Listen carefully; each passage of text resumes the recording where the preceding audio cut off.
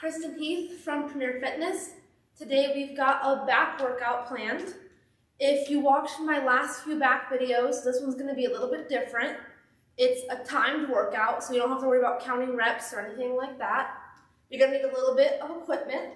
So just enough wall space for you to lean up against the wall. We're gonna be doing some slides and some rows. And you're going to need a towel. We're going to be doing towel pull downs with this. And preferably a water. All right, so let's get into the stretches and then we'll start up our workout. So wide arm rotations. If you can't do wide arm rotations, just do whatever you can. You can start backwards or forwards, doesn't matter. And if you find it easier, you get a better stretch, you could do one arm at a time.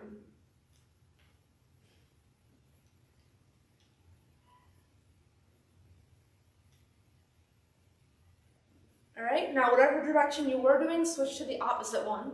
So I'm gonna do forward now. And you can do a mix if you'd like, like I'm doing. Do both arms, and then do each arm individually.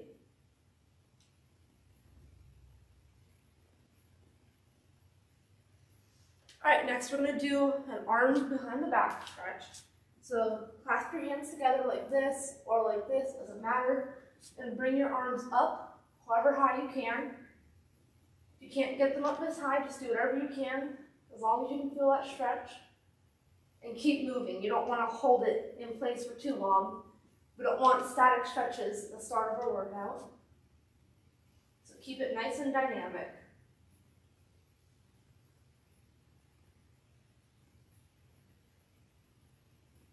Try to relax your neck as well.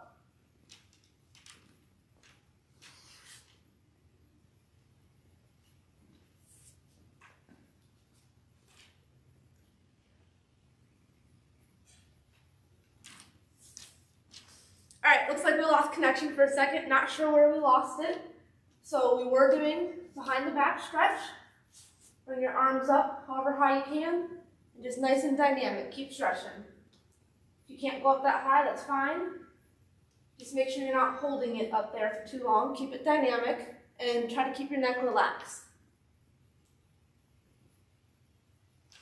Then we've got one more warm-up stretch and we'll get straight into our workout. All right, so this last stretch, sit on the floor on your heels if you can. If not, just sit down on your feet. Sit however you can, it's comfortable. So we're gonna start with stretching our right hand side. So you're gonna extend your left arm out, put your right hand on the back of your head without putting pressure on it, just rest it there. You're gonna bring your right elbow under your left arm and then come back up with your right arm. Feel the stretch in your back. And we'll do that five times on each side and repeat, do it five more times again. So I'll face this way and show you.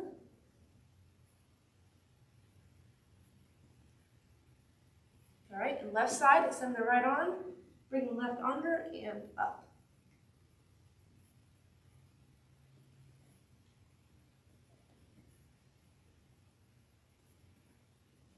All right, and repeat that again. Right hand side.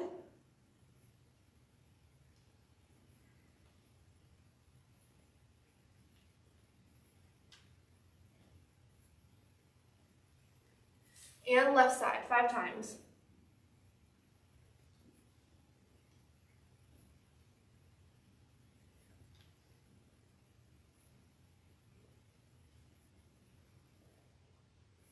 All right, take a short rest. Catch your breath if you need to, drink some water. Now we're gonna get into the back workout. It's gonna be timed, so I'll be starting my phone with a timer on it. We're gonna be doing scapular push-ups. Don't worry if you can't do push-ups, it's not like a regular one, it's just like that. You can rest on your knees if you need to, so you feel it less in your core and get to focus more on the back.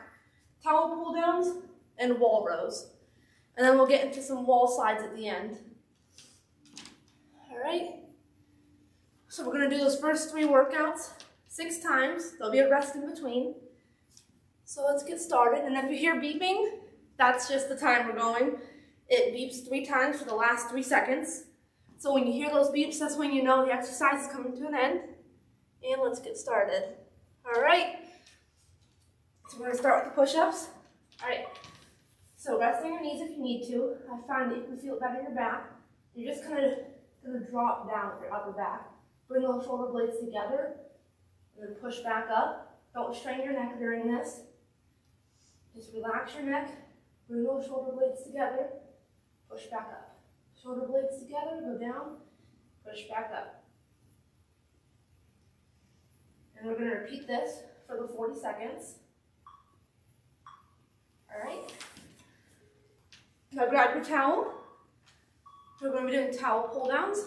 Pull the towel nice and tight. Over your head, hold that tension. Bring it down to your chest. Push it back up. And you see how my arms are right at the sides. They're not swinging back too far or forward too much. Try to keep your neck relaxed. You don't want to be straining your neck. You're going to have to have your head back a little bit to bring the towel down. So you're not hitting your face, but don't be straining it back too much. Keep going. 10 more seconds of this exercise.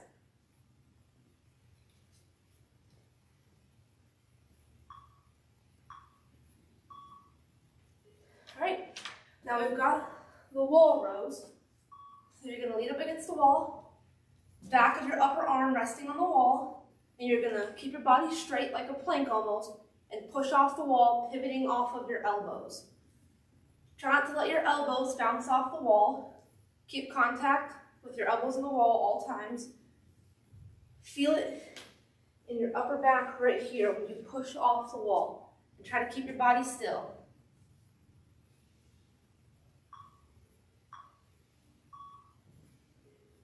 All right, 35 second rest. It went by fast. Take a drink of your water if you need to. All right, about 20 more seconds of this rest. Repeat that again five more times. And then we'll finish up with the wall slides. And I'll keep giving details on the movements as we're going through them. 10 more seconds. Get ready to start those push-ups. All right. Now if you'd like to, you can be in a regular push-up stance. Drop down, push back up. I find that this way, you do feel it a little more in your core, in your abs. So if that is what you'd like, you can do them this way.